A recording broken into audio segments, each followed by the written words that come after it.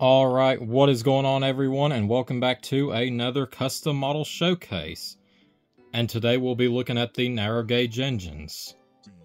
Starting off with Skarloey, he's one of the older models in my collection alongside Rusty and Duke, so after many years of play as a kid, he developed a lot of chip paint. You can see some essence of it that I apparently didn't paint over well enough, or even the chassis wear. I did a poor job at painting painting over the chipped wood. Er. So he basically required a full repaint, and I did that with True Red and True Blue to go around and give him a nice fresh coat of red paint. I use antique gold for the dome, name, number, and I still don't know what it is. I think it's a brass band that goes around the funnel. The Skarloey model itself was released sometime after 2003. However, because I don't remember the exact position of the number, after 2005 the number was lowered, so I don't know what era this would have come from, probably post 2005. But either way. I kept it mostly simple with them, with the detailing, so besides the buffer beams, lining, and windows, cab, black running board. I used the Sharpie to blacken the magnets, which, yeah, that method is since been retired. And to go ahead and correct something I didn't really specify in previous showcases, besides using toothpicks to paint over the models, I actually use the same kind of wire that I've used for other models as handrails to paint some of the finer details, if it'll focus, yeah. So for example, Skarloey's brass band, I used the, obviously the wire to get small enough and paint the name and even the lining. So yeah, I use wires for that detail. I guess that's all I got to say about Skarloey.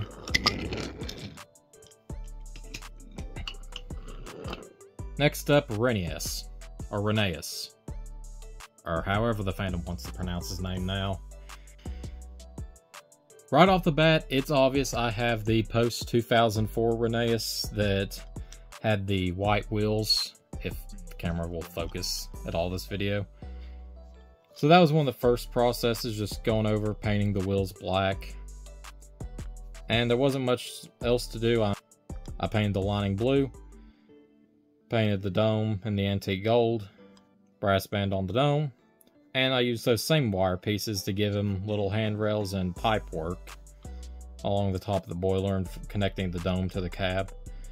Although strangely enough, you'll see it with a lot of the models is I used yellow for the window frames instead of the gold. Something I'm considering updating in the future, but for now, I'm fine with it. Again, buffers, black going around the running board, at one point he did have a headlamp, but it broke off. The steamroller himself, Sir Handel. Sir Handel was painted from the arguably best narrow gauge model to date, the 2008 Sir Handel. So, and unlike Rheneas, who I, for some reason, kept in this weird pinkish livery, Sir Handel was painted in the same true red as Skarloey. But I went kind of crazy with the details besides name, lining, some cab details. I actually did give him some painted handrails. I used some clay for steam pipes. I, that's just what I'm going to call them. I have no idea what they actually are. I took a lot of wire pieces to give him handrails along the boiler and smoke box.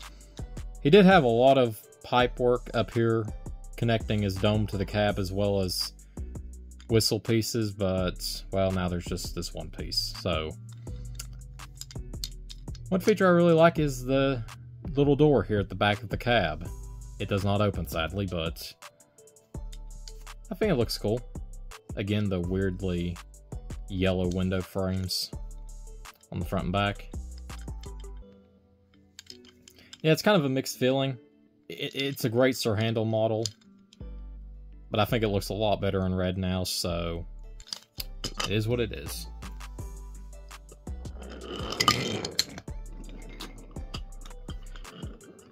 Well, this is an interesting situation. Peter Sam.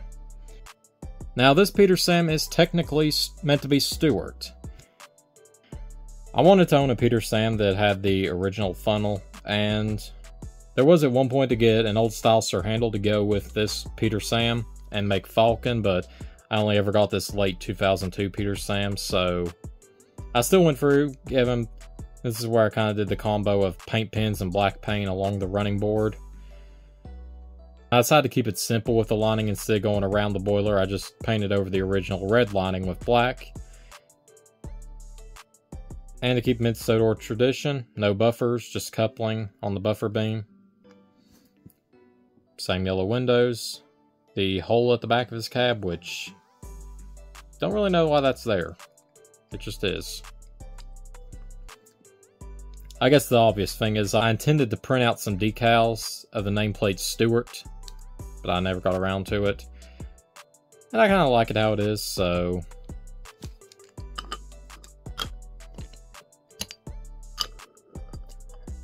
So these are my only two Peter Sam models. I do not own one that's got the Giesl injector without quarry dust blue wheels. Yeah. So I actually ordered this Peter Sam off of eBay, so he didn't actually come in the three pack that he was sold with the Blue Mountain Quarry cars and Dynamite cargo car. And I'm fine with that. He was one of the ones with the least amount of work done. So just a simple buffer beam painted the top of the running board black. Horrible buffer job back here. Holy good grief. And cab windows. So I still think it's a nice model. Although I really do need to order another Peter Sam. Maybe one of these years. Alright, so this is a fun one. We got the 2001 Rusty. Again, besides Skarloey and Duke, he's one of the older ones in my collection. And he actually came in the Rusty with Construction Cars 3-pack that I actually own. However, this cement mixer, it's I had to order a new one off eBay because the original one just disappeared. Maybe one of these days will turn up and I'll have two. But yeah, the three pack's still here all together, which is nice. This guy has a weird face. Rusty was the first custom narrow gauge engine I painted, and oh boy, is the paint job dated. The buffer beams are brand new. I, I freshly painted those, so it looks nice, but oh boy. oh. Not the cleanest job. I could definitely... He needs a full repaint. So, I mean... But I won't keep him how he is. Uh, uh, yeah. But I think it was just an early concept of like, you know, how much I prefer the Railway series considering I painted my rusty black, so... It, you can tell where I used a Sharpie for the cab interior, so... I mean, there's not a whole lot to say. I mean, it's literally rusty I painted black. I repainted his name, but I somehow kept the five on both sides, so... Yeah. There's Rusty.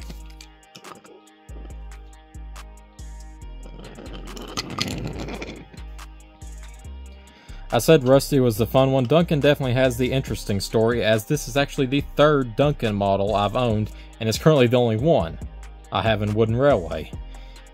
My original Duncan was one of the 2009 ones, which, great model, I loved it. And then one day at Day of Thomas, I saw the old style Duncan in a DVD pack, and I couldn't pass up an opportunity. I thought, as cool as the learning curve Duncan looked, I loved the old style Duncan, so I got it. And I thought, why not paint it red? So I could have a red and yellow Duncan. Well, yep, both of them are gone. I haven't seen those models in a long time. And I just recently purchased a new Duncan and I, I'm I'm sort of glad because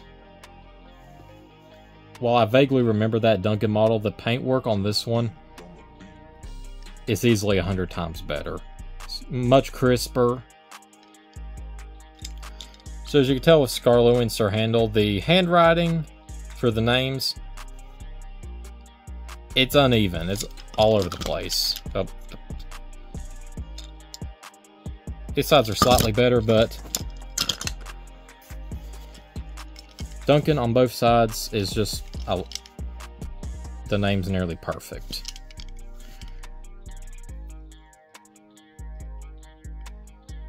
And that's the thing, there's certain things obviously I didn't have on the original that, or at least I think I didn't have on the original. I painted the cylinders, and given Douglas in real life has an open top running board, and you can actually see the cylinders sticking up through the running board. I did that with Duncan. It kind of, I kind of hope it sells the effect with the red squares on top of the running board that his cylinders go all the way up.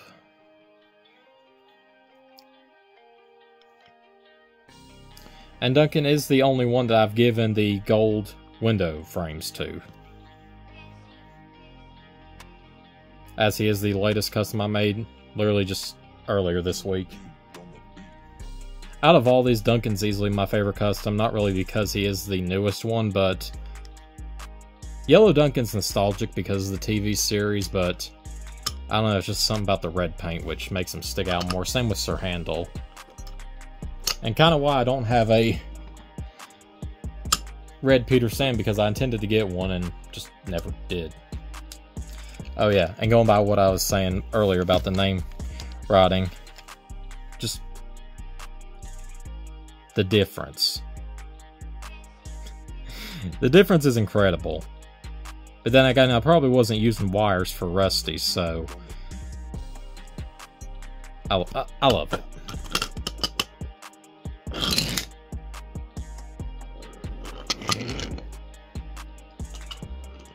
And we got Ivo Hugh, because Fearless Freddie doesn't exist. Obviously, it's the only Ivo Hugh model that's been in existence since 2002 one, so that means I do have these zoo cars that came with him. And obviously, as a kid, I wasn't really into like the gimmicky rolling stock, so this is really the only gimmicky stock rolling stock I got. Certain things like the construction cars, they they get a pass because they're sort of realistic. Yeah, these are the only things that are kind of like out of that look out of place in my very small rolling stock collection. But this three pack did inspire Thomas 1 Edward 2 Henry 3 to produce a really cool story involving Ivo Hugh and a baby hippo. That's definitely not a baby hippo compared to Ivo. So up until literally last night before filming this, all I'd really done to Ivo Hugh was repaint his lining in the true blue, gave him the buffer beam, and painted these sides of him black. Painted the top of his coal bunkers, and one thing I like doing with some of the models is actually giving them the black on top of their water tanks. Another thing, Probably the better window frame job, even though it is in yellow. Yeah, I think the back's kind of weird since the cab's, it's supposed to go down a little bit, so those tiny windows are a bit out of place. So, and literally like last night, I've used the only engine I've done this to. I went ahead and painted in side rods and the piston, I actually took some cardboard and duct tape and then cut it up to give him pistons. So to kind of fill in this gap since I was getting tired of looking at just the plain black and I wasn't originally a big fan of the original detail that was there. Now I think he's kind of complete. I also gave him a bit of pipe work back here and underneath the cylinder. Yeah, Ivo Hugh. Oh yeah, he's another one of those characters the fandom has thankfully revitalized, so... You don't see him a whole lot, but... Eh, he's always a treat when he shows up.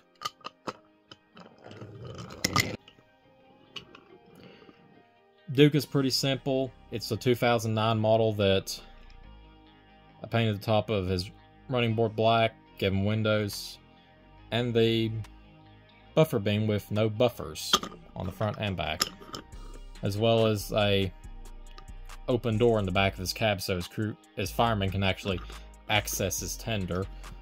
Um, water filler cap, and for some reason, when I, since this, a number of the stuff was done when I was a kid, I painted a number eight on his tender. I, I don't know why in that color and on the far side of the tender. But I mean, it's, I mean, it's there.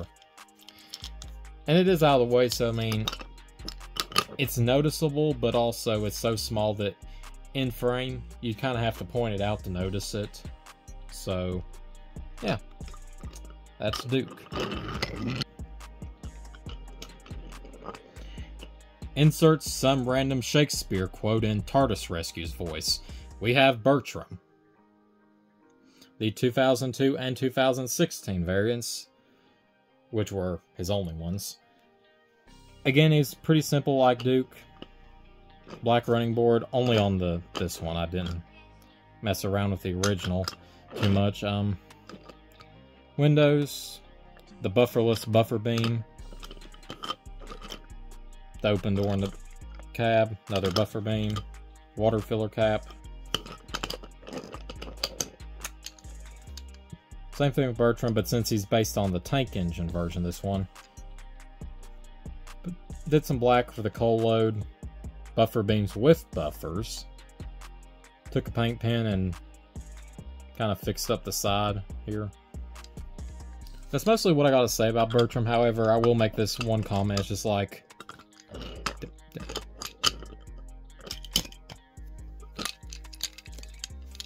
Why?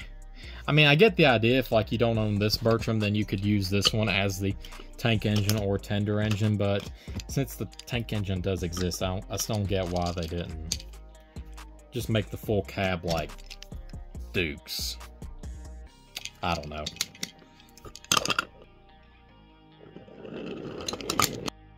I got a few more models to look at. Next up we have the 2007 Mighty Mac. And all that was really done besides windows and for some reason numbers on the side. I repainted the buff. Oh yeah, and Mac had a bit of touch up on the freckles and eyebrows. When I repainted this buffer beam, I went all the way around so it matched, and man, it sticks out amazing. And just all the way around, it looks great. Yep, and uh, that's Mighty Mac. Insert Victor. Um, he's got some buffers. Yeah. And we got Millie. This one is a mixed bag for me. Um, part of me loves the model. Part of me as well, there's there's elephant in the room for that. I went around gave her the gold bits on top of her running board on the side of the wheels. Cover some windows and the buffer beams. But for some reason I thought it'd be a good idea to use the wire and go around and paint the white lining that's on the front and back of her cab and yeah, it didn't turn out the best. It doesn't really match. It doesn't match the lining on the side of her cab or even the color, even though the lining is meant to be like pretty white and it's sort of gray on the side of her here. I don't know. I, I still I still love the model. I think the lining is just yeah, it's it's it's an it's an oddball. So